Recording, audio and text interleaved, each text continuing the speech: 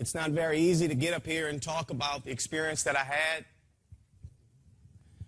Some people think you're crazy. You know, they say all kinds of things. But I know that what happened to me was real. I know that I experienced something, and because of it, God has a mandate on my life to stand up here and tell you about what happened.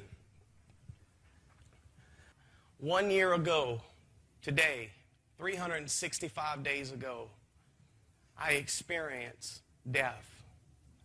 I know beyond a shadow of a doubt, with all my heart, that I crossed into eternity.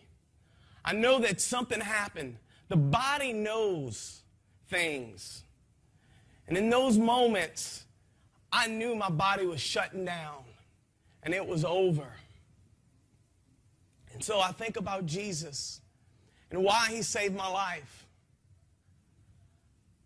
I guess is to talk about it today to you and to tell other people about my experience. It's not easy, but who am I if I don't say what God has mandated me to say? So I'd gotten to a point where nothing was working, and this last stint, uh, about a year ago, the only person I would talk to was my cousin Will. He was the only person I would talk to. I quit, I, I mean, I gotten to a point where I didn't even want to hear the word of God anymore, because you know what? It's not working. I've tried it, it's not working. So me and Will grew up together. We'd figure out every one of life's problems together. We'd sit around and talk about how we're going to become millionaires and share our dreams and all this stuff. But so anyway, I, I gotten to the point and, and I just, I remember this time. And I remember Will was calling me because I don't know if he knew that something was wrong, but I, he, he was calling, he was calling, he was calling.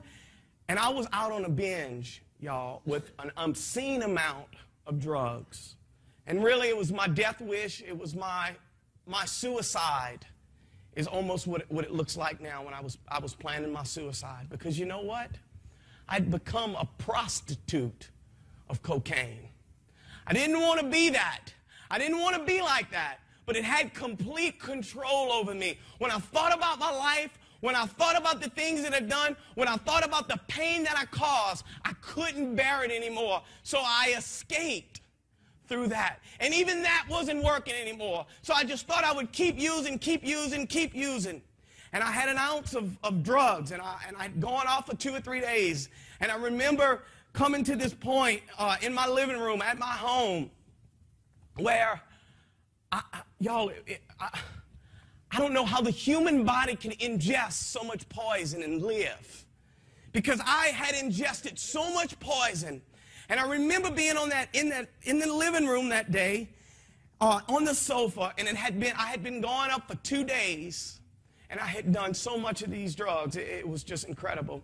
And I remember Jean wouldn't want me to. She wouldn't want me to come in the house with drugs because my kids were there. But I would come and I would hide them because I was an addict. That's what addicts do. Addicts are in bondage to it. I didn't want to be that. I didn't want to be like that.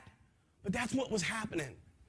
So I remember this time, I, and, and John was, she had gotten up to check on me, and uh, I was laying on the sofa, and she just, I guess she chalked it off as, I don't know what to do. He's messed up again. He's out of it again. And um, the moments to come were both tormentive and glorious. As I sat and, and wallowed in the pain, it was like something was telling my something was telling me, just keep doing it. Keep doing it. And you understand, I was a professional drug user. I knew how much to do. But this voice kept edging me to continue. And I remember that voice just as clear as it is today. And when I did it, the moment I did it, I, I, I, totally blacked out. I was a drug user for 19 years. I never had one blackout, not one time that I ever blacked out using a substance. And when I blacked out, I immediately went into another, what I believe to be another dimension. Now, my body was on the sofa at the time that I did it. And, but when, when, what I remember was when I went into the other dimension, I was running through walls. It was like, it had to be like 10 walls. And as I was running, my face was hit like flopping into these walls. And I, I, didn't, I, I didn't understand, I didn't know what was going on. But the next thing that happened, when I opened my eyes, Jean was standing in the, in the, I was standing up, and she was standing in the, the, uh, the casement of the bathroom. And when I looked upon her face, when I looked into her eyes, I knew I was in trouble. And then again, I went out again. I think she, I don't know if I collapsed, uh, but she escorted me to the, to the bedroom. Uh, this, this all went on about 30 minutes before the ambulance came, and I'm going to tell you kind of the testimony before the ambulance came, and because there were things that happened. Basically, I kind of went in and out. After that, after, after I fell in, in her arms in the bedroom, I immediately, have has anybody ever seen the, the movie uh, uh, Ghost with Patrick Swayze and Demi Moore? And how the, the shadows came around the bad guy and he like took him down? I mean, that's exactly what happened to me. Exactly. And, and it was like four shadows. Now, all the while, she's looking into my eyes and my eyes are open but they're not blinking. To, I, I researched to be clinically dead means that your heart stops beating and you stop breathing. And that happened to me. I believe I had cardiac arrest at that moment. Of course, there's no doctors that can attest to that, but I know what I believe in my heart. I know what, I mean, you know, your body will tell you what, what's going on.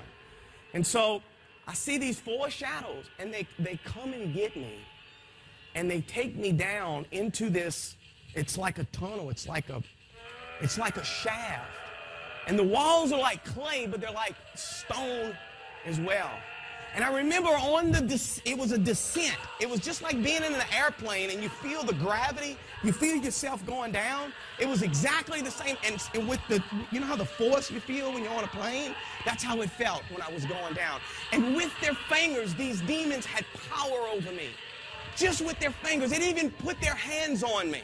They just like moved a finger and they had control over my spirit, man.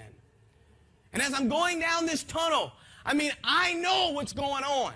I've heard people testify and say they didn't know what was going on. They were confused. But you see, I had known the Word of God. I have had an experience. I know the Word. I knew what the Scriptures said about heaven and hell. So I was not exempt. I was not confused. I knew what was going on. But at that moment, it was as if I gained a new understanding. There are capacities in eternity that you can't parallel to the temporal world or to the, to the earth. And, and this is what I mean. Your, your capacity of, fe- of feeling, you're 10 times smarter. Your senses are so much more acute. I just knew things. Nobody had to tell me what was going on. I knew things that were, were happening without any, it was like I gained a new wisdom. It's, it's like uh, the, the Hebrew, the Greek language to the English, English language. The Hebrew language has so many more words. There are more colorful depictions uh, as a parallel to the English language. In other words, the word love in the English language, it's interpreted with seven different words in the Greek language. So it's like that in eternity. There's so many more capacities for understanding. And so as I'm going down this tunnel, I'm telling you guys, great horror filled my being. Have y'all ever saw the movie Awake? Has anybody ever saw that movie Awake? Where the guy is, is on the operating table and they're like planning his death and he, he's laying out and, and the doctors are like planning his death. But for some reason, he never fell out of unconsciousness. He knew what was going on. And he's like, he's trying to scream, but he's because he's under the anesthesia, he can't do anything. He's just like, please, please, please. He's trying to get somebody's attention, and that's how I felt. I'm, I'm wanting to get somebody's attention. I know what's happening. I know what's going on, and I'm thinking, I'm thinking about my wife, and I'm trying to get her attention. And I'm also thinking she's going to think what is I'm that? in heaven. She's because I knew the word of God. She's going to think that I'm in heaven. to be able to still hear you? So these demons take me into this, for lack of a better way to say it, it looked like a chamber. It looked like a, like probably a 20 by 20, maybe like a holding cell of some sort, with the walls being stoned, clayish, but ironish. I, it was like a substance I've never seen before. And I remember it was like I had chains on me, and I was put on display for the enemy. It's like I was being made fun of, or getting ready to be made. I didn't see the chains, but I, felt them. And it was something that had my hands bound to the wall. And in, in that moment, I remember feeling such great despair and hopelessness. I miss God. There is no God in hell. There is no God in this place, this chamber. There was no evidence of love. There was no love anywhere. There was no hope. No hope. Just, just, just to think that you can get a, a moment of rest in the earth. You, you don't even understand how incredible that is. That you have an inclination of hope. Because you see, I lived as a drug addict. I thought there was no hope. I thought I was living in hell. But just being separated from God in this dark, dark place, that alone, I, I can't. It's like I just know something. I have, I understand eternity. I do. I really do. It's seated in my heart because of this experience. I know about. I know what it's going to feel like. I know how someone is going to feel when they go to hell. I understand it. I know it. And it's an incredible burden to carry to know that. So I'm in this place. I'm in this chamber and I'm, and I'm, I'm stuck to the wall. And I remember thinking this thought that there are going to be people here that didn't expect they were going to come here. You see, the scripture says the way to heaven is narrow, but the way to hell is broad. And, and so I'm there and I'm, I'm thinking, man, people are going to be here. I got, I got so many thoughts going through my mind. It, it's just the things that happened to me just in, I, I think it was two minutes. It could have been, it could have been a second. I don't know. It could have been, we, we calculated two minutes because Jean was on the other, and she kind of told me her side of the story, and so we put it together as it was a two minute thing. So anyway, I'm, I'm in this place. You know, I could see my skin just like I had skin. I had a body, just like I had a body, but my skin was translucent. It was like it was like invisible, but it wasn't. You could you could still see it. It had substance, but you could see through it. It, it was it was it's hard to explain. I mean, it's just no words to explain. But I remember on, on the wall, I could see inside of my my belly right here. This is where your soul is. I believe your soul is right here. And in this area, there was a great dark, it was just dark. It was black. It was like a blackish gray color that was right here. And I knew what it was. It was sin. It was filth. And you see, because of that filth I had on me, that's what gave Satan's devils, Satan's demons, the right to come and get me. It was the contract agreement that I made with the devil that I agree with him and disagree with God, even though I knew God's word. Because I held on to sin, that's a sin of omission. I held on to sin, omission. I'm saying, God, no to you, and yes to my way, to my sin. And that darkness right here gave Satan legal right to put me in that place of torment. I just knew that. I was darkened. In my soul, I was darkened. Wow. Man, we can't play with sin. It's not worth it. Since that, since that experience, since that, since that revelation, man, I, I'm on guard. I don't let anything come in these eyes or ears. And if it does, I get it right quick because I don't play with sin. Because all it takes is a little leaven, a little bit to contaminate my whole body. And that's how we need to be as Christians. We need to be vigor. We need to be fervent. And we need to stand for righteousness and stand for what's right because let me tell you, there is a lost and dying generation out there that is going to hell and they need to see something real in us that's going to make them want to come to Jesus. And let me tell you something. I had people watch me and look at me for years to profess Christ and then to go back out in the streets. And they said, I knew that stuff wasn't real. I knew it. Jesus stuff. Because we, as Christians, ought to carry the mantle of our Lord Jesus Christ. And we need to carry it and wear it right and wear it well because so many years we haven't done it right and we've given them a, a false Christ. And we've we showed them things that that are not who our God is. My God is a God of love and compassion, and He has power to set me free from sin. And we need to see Him for who He is. And people need to see us and see Him living in us for who He is.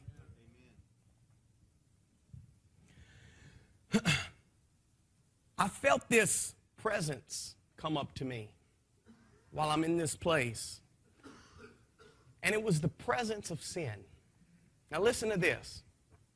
In this moment on the wall, there was something breathing on me. And I have never felt so filthy in all my life. The smell. There's no way I could describe to you the smell. The filth. Every AIDS, sin, cancer, perversion, child pornography, every evil thing that you could imagine in your mind that man has imagined was alive and it was breathing on me. It had its being. It was alive in hell, was ready to consume me. You see, the, I had pain in my heart. I just feel like I need to say this right now. I had pain that came into me as a, as a child. I had trauma in my heart that was never dealt with. And that pain of abuse caused me to go all the way to the place of hell. Let me tell y'all something. It's very serious that we allow the Lord to heal us of our pain because that pain, the very thing that Satan put on you, will take you back to his place. Because you see, that pain is, is the doorway to his entrance in your life and ultimately to take you to this place called hell. So this, this being was breathing on me. And I remember feeling so filthy. And in a moment, while this thing is happening to me, I feel like God allowed me to feel this pain, guys, that I could not describe. If I tried, I couldn't exaggerate what I felt because there are no words to, to describe the pain that I felt in this moment. I could literally feel between, I could feel, you know what a toe cheese is in your toes? I could literally feel between my toes. I was hurting everywhere, all over my body. I could, I could become one with my hair follicles. I could, I was hurting so bad. It was like a fire was on me. I did not see a fire. I didn't see a flame. But guys, I was in so much pain. I remember, God, I was thinking about my when I was having kidney stones and, and how painful those are. But it was a thousand times painful, more painful than a million times more painful. I can't even describe to you. It was like if someone was ripping flesh off of your body. It was like as if you were dipped into acid.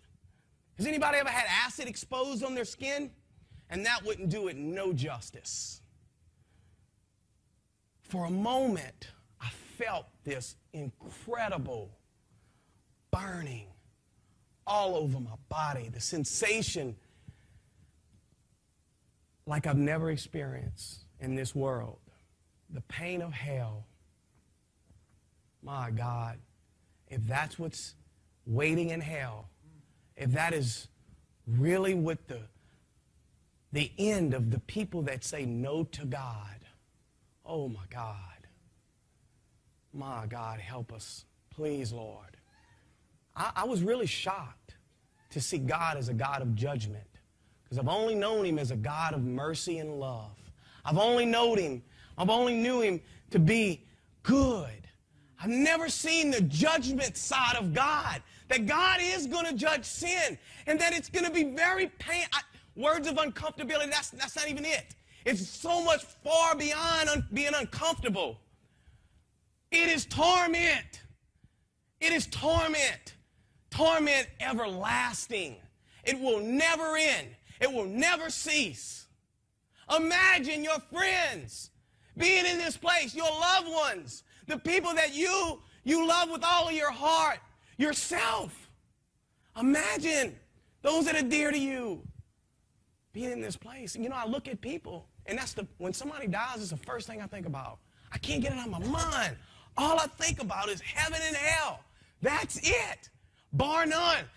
That, that's all I'm interested in for my personal life is that I'm going to make heaven and I'm going to bring as many people as I can with me. Because let me tell you something. I believe the heart of the Father, the heart of the Lord Jesus Christ, is that not one person would ever go to that place. He doesn't wish that any one of us go there. You see, hell was made for the devil and his angels, the scripture declares. It wasn't made for us. God created us to love us. He created us for us to love Him. And those that say no to God, there's a place called hell. And I tell you, it scares me. It really scares me. The Bible says in Psalm 16 3, the sorrow of death compassed me, and the pain of hell got a hold upon me. I found trouble and sorrow. This is in the Bible. Seems like some, some of the patriarchs experienced something like what I experienced. The Bible declares that there are different levels of hell.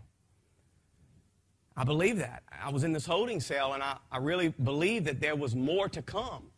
I, I was not in the, the fullness of, I was just, a ta- I couldn't have handled anymore. God couldn't have gave me more. I would it would have crushed me. I would not, I would have been a basket case if I would have came back and would have saw. I just know I couldn't have handled it. As it is now, I can't go anywhere. I mean, if I want to rest, I got to go home. I can't be around people because when I see people, the only thing I'm thinking about is do you know the Lord Jesus? Do you know him? But I believe there are different capacities and compartments. I've read stories and uh, testimonies from Mary K. Baxter and uh, Bill Wiese um, Kenneth Hagin had a, a, experience with hell. Many, man, there are, if you go out on the internet and you search, you research hell, you'd be surprised. I mean, there are so many testimonies about hell and the things that people saw. And uh, guys, I, I, don't believe people are going to make that up. I, am not going to stand. I'm a professional. I own a construction company. I have employees. I'm not going to. I don't have nothing to prove. This ain't about me. I don't want to come up here and sound like a flake. That ain't what I want to do. You know what? I, I, this ain't about me. I don't know why anybody would make something up like that.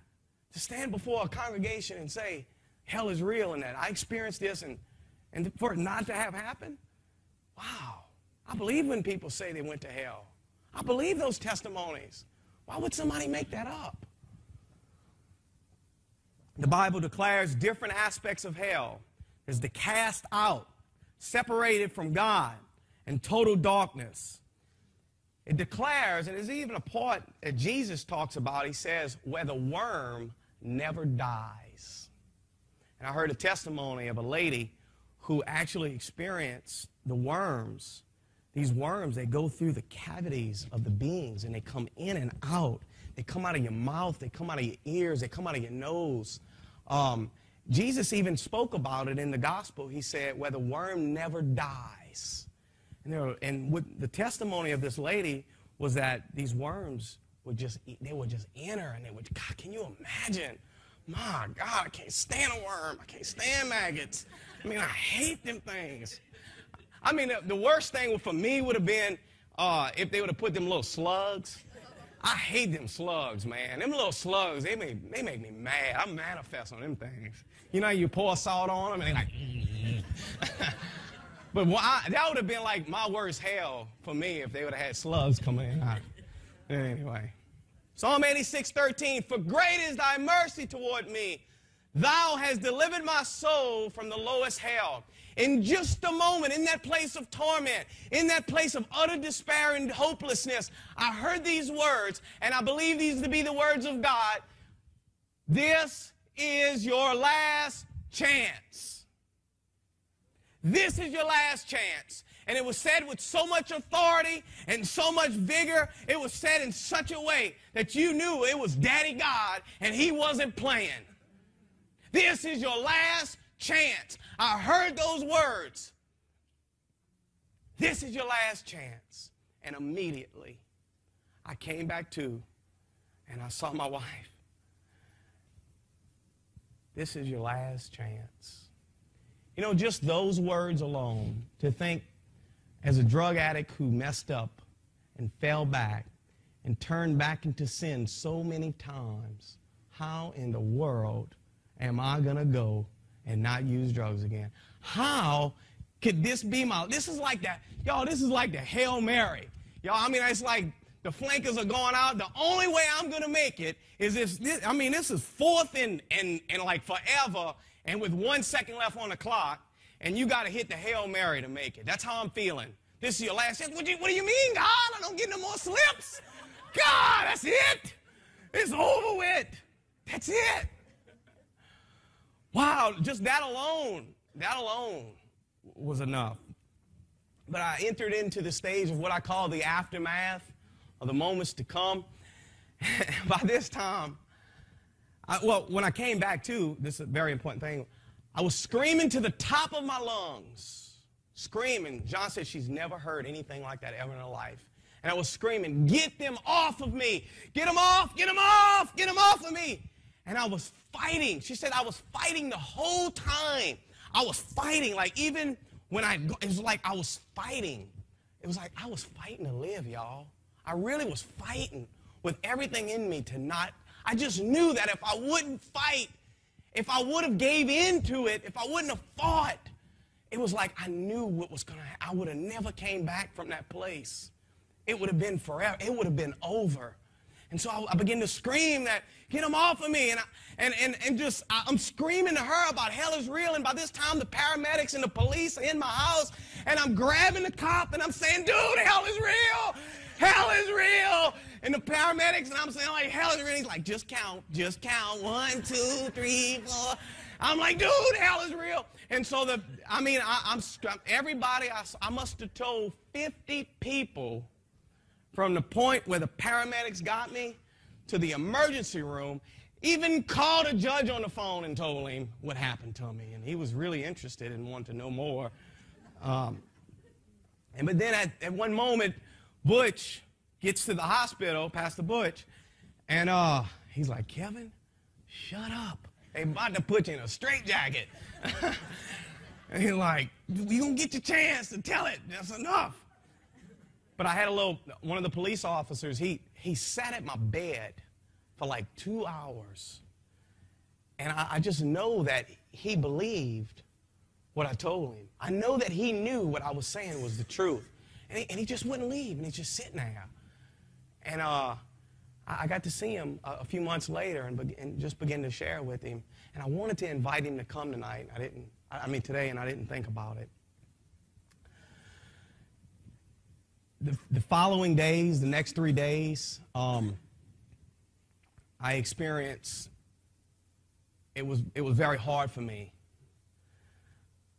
When it got dark outside, I got very fearful because I had been in this place of darkness. I was so scared of the dark. I mean, I'm like, what are we gonna do? It's getting dark. Put the shades up. I mean, I'm like, I couldn't go to the bathroom by myself. I was so afraid I would have moments that I would just break out shaking. I would just get so scared thinking about hell and thinking about what just happened to me. Why? Why did God spare me? It scared me so much. And then, you know, the upcoming weeks, I would get around. I remember going to a restaurant, and this one waitress had come up to me to take my order.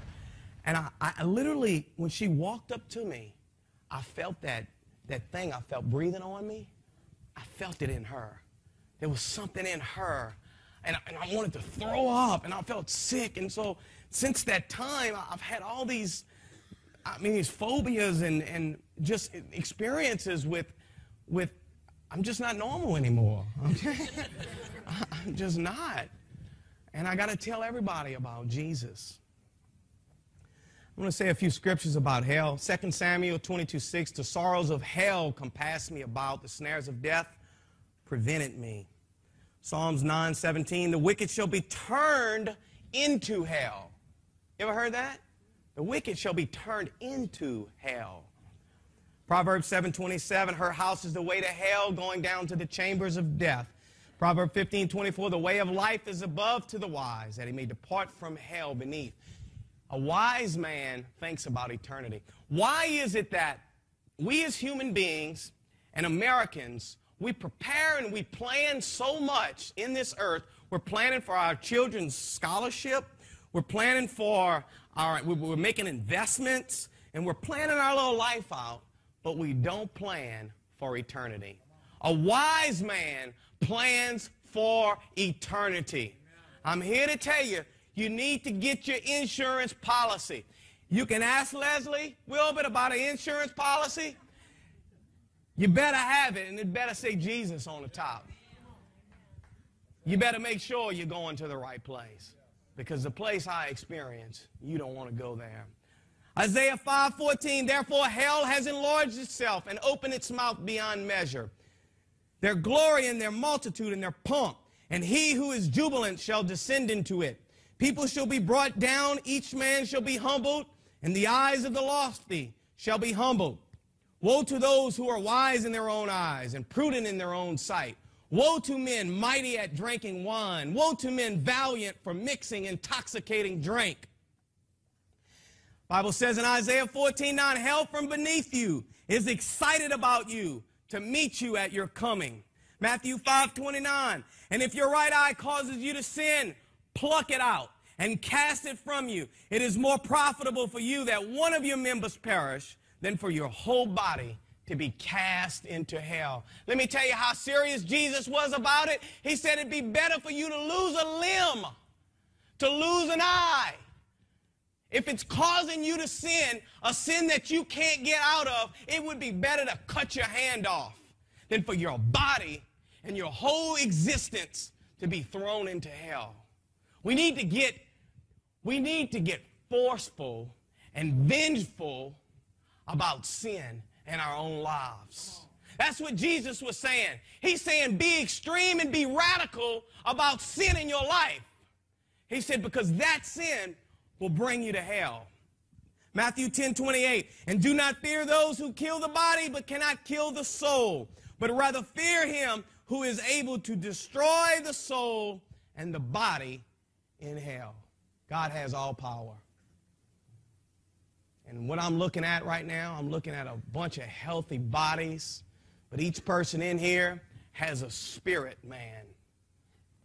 And that spirit man is going to live forever in one place or the other.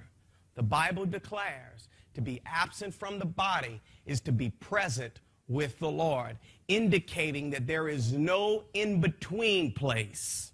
There are many other scriptures that, that uh, signify that or uh, exemplify that, but we are going to live eternally somewhere the rest of our lives. Where are you going to live? Will you hold on to the things you want above the things that God wants? How far will you let Jesus pry into your life. I think we know with things that besets us and keeps us from the fullness of God. You see, when you say yes to sin, you say no to Jesus. That's the fact of the matter. When you say yes to yourself, you say no to Jesus. It's not about me. It's nothing, it is nothing about me. I just want to live for the Lord. That's it. I want to live for Him.